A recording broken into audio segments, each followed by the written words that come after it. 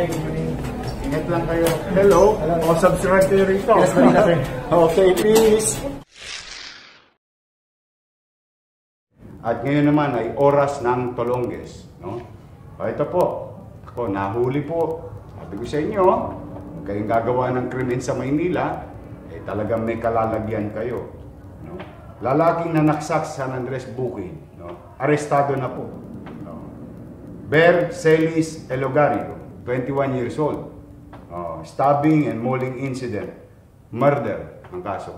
Naaresto po sila ng operating unit ng Homicide CIS. Oh, yan po ay ah, nasa kamay na ng ating kapulisyahan. Maraming salamat kay ah, General ah, Leo Francisco.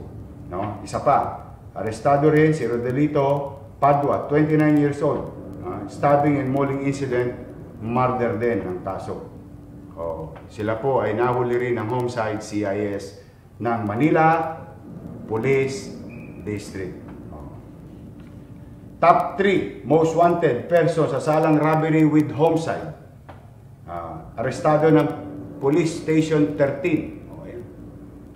Oh. Nakakalawit. Hmm. Oh. Nakuha po siya sa Antipolo. Oh. Doon po siya nagtago. Nakuha siya noong isang araw sa robbery with homicide si Armando Santo Domingo. Maraming salamat sa ating mga pulis Maynila no na patuloy na pinapanatili ang rule of law no Uh, yung karapatan ng tao no na sila ay uh, dalin sa mata ng batas No? at uh, yung high tolerance mga MPD enforcement unit. I'm proud of you. Let's bring them to justice and let the natural course of law no yung uh, yung justice system.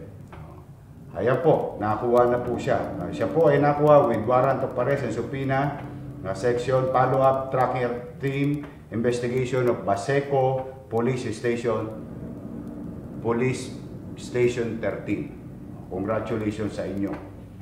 Armando Santo Domingo robbery with homicide Top 7 most wanted sa salang rape. Naku. Ayan. Ayan po. Hmm. Nahuli rin ng Manila Police District. Hmm. Naku. Masi-safeguard to. Hmm. Joshua Malyari. Siya po ay nakuha sa Quezon Street, Tondo. Hmm. Ba, dito ka pa nagtago ha? Hmm. Top 7 most wanted. Okay. Joshua Malyari.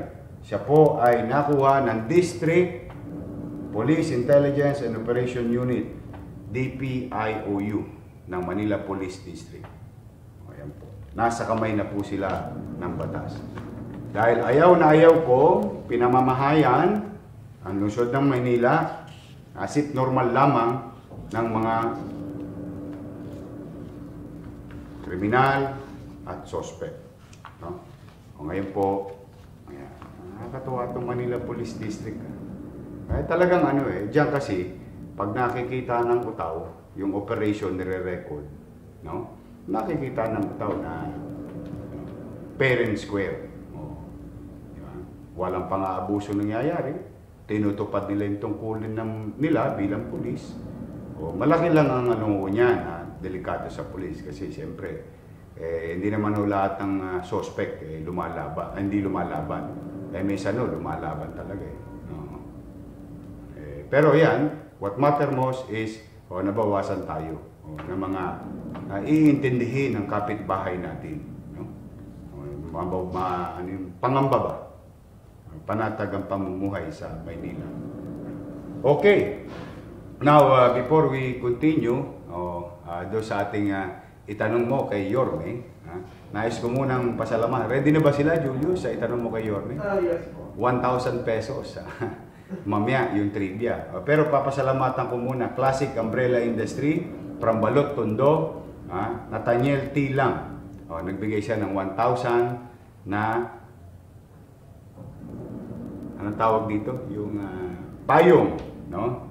Tapos, mga kababayan, oh, Okay.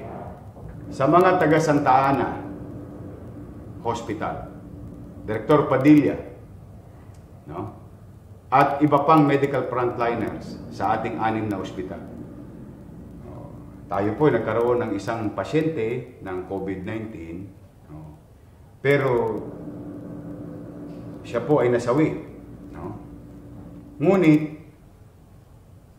sumulat po ang kanyang mga mahal sa buhay no, sa inyong lingkod. At natutuwa ako na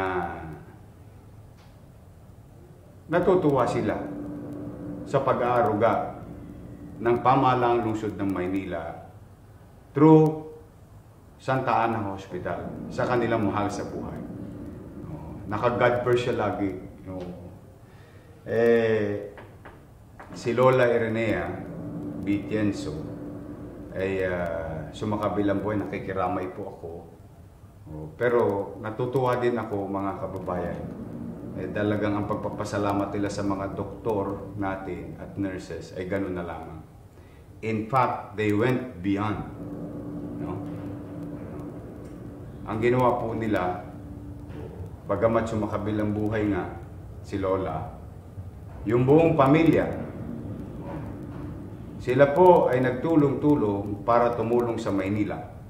Sila ay nagbigay ng 1 million pesos donation to the city of Manila. Nakaka-touch naman.